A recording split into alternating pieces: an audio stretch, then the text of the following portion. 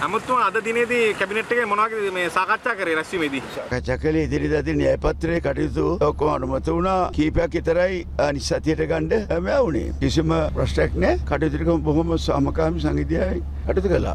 අද දිනේ මොනවගේ සාකච්ඡාවක් දෙන්නේ මේ සජිත් ප්‍රේමදාස මහතා අපේක්ෂා කරගැනීම සඳහා ඇටෝම එකත්තියේ සුභවෙයි අල්ලෙකමතුරෙන් මහිතන් සුබ වෙයි කියලාද ඔබතුමා හිතන්නේ? ඔබතුමා කා- කාටද සුබ වෙන්නේ? කාටත් රටට පක්ෂයටත් රටට.